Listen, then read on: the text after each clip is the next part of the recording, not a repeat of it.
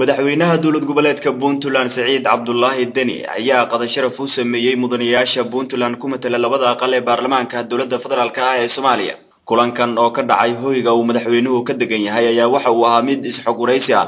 kaasi oo ku saabsanaa xaaladda guud ee soomaaliya iyo marxaladda dalka uu marayo afhayeenka ahna agaasimaha warfaafinta madaxtooyada puntland jaamac dabraani ayaa ka warbixiyey kulanka. Madaxweynaha dowladda puntland mudane siciid cabdilaahi deni waxa uu maanta hoyga uu ka degan yahay magaalada muqdisho. Uu kulan kula qaatay xildhibaanada puntland ku metela baarlamaanka federaalk soomaaliya. Kulanka oo ahaa kulan qadaa waxa uu ahaa isxog waraysi waxa uu ahaa kulan lagu kala warqaadasho ah waxa ay xildhibaanada baarlamaanka federaalk soomaaliya ay madaxweynaha ay ula wadaageen hambalyo iyo bogaadin ku saabsan doorka puntland mar walba ay ka qaadato dhismaha dowladnimada soomaaliya ee taariikhiga ay hore uga soo qaadatay haatanna ay sii wado iyo sida mar walba ay puntland uga helan tahay horumarka soomaaliya iyo dhismaha dowladnimada oo la sii horumariyo